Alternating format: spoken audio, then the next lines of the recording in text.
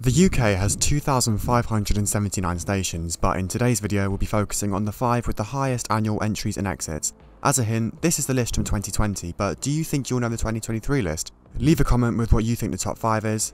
I think number 1 will surprise you.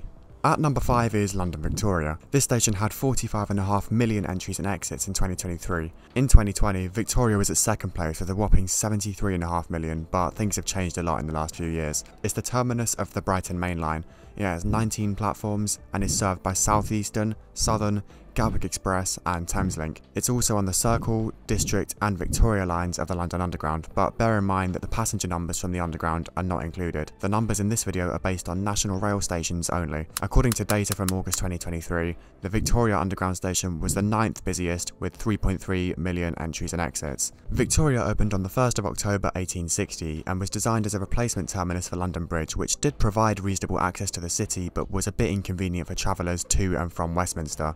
Victoria was a popular choice for commuters right from the start, and this was an oversight as there were very frequent delays only two years after opening and a lot of congestion started to build up at Stewart's Lane Junction. In 1863, a project was funded to reroute the trains into Victoria in such a way that it avoided the junction and relieved the congestion. This was successful and the work was completed in 1868. The biggest changes between then and now were the trains themselves progressing from steam to electric. London Bridge was at number 4 on the list in 2020 and remains at that position this time around in 2023. Again, due to the pandemic, the numbers are much lower, down from 63 million to 48 million. The station has 15 platforms and is served by Southeastern, Southern and Thameslink, as well as the Northern and Jubilee lines of the Underground. When it comes to the Underground station, London Bridge is at 5th place with a total of 4.7 million passengers in August of 2023. It opened on the 14th of December 1836, making it the oldest London terminus that is still open. The original station had four tracks and no roof, making it very vulnerable to damage from the weather until one was built in 18 1840. The station was rebuilt in 1849, then again in 1864 to increase capacity. Between 2009 and 2017, the station was rebuilt in a number of areas to accommodate the Thameslink programme,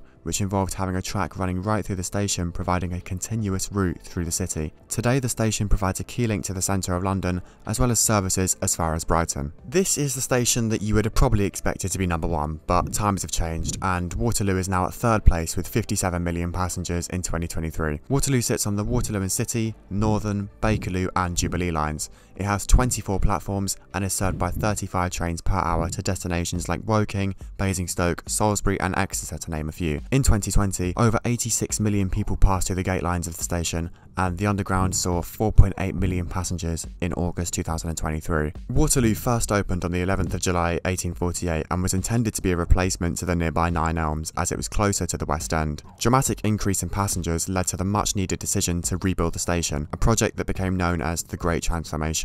They began the construction process in 1903 and the station, almost as we know it today, was opened in 1922 by Queen Mary. Waterloo continued to be the biggest station in terms of passengers right up until 2021 when it was overtaken by London Stratford. After regaining the crown in 2022, it lost it again in 2023 by quite a significant amount this time. With the help of the Elizabeth line, Paddington shot up to second place from 6th and 45 million passengers in 2020 to 59 million in 2023. Paddington has 16 platforms and is served by Great Western Railway, Heathrow Express, the Elizabeth line and the Circle, District and Hammersmith and City lines. Paddington Underground Station saw 4.3 million passengers in August 2023. Remember, the Elizabeth line isn't technically part of the Underground, which is why the numbers are so high for the national rail stations and so low for the Underground stations. Of course, everyone knows that Paddington is named after the Marmalade And this can be confirmed because they actually decided to build a station around this statue of the bear. Unfortunately, this isn't actually the case, believe it or not. The station opened fully in 1854, and the first appearance of Paddington Bear wasn't until 1958.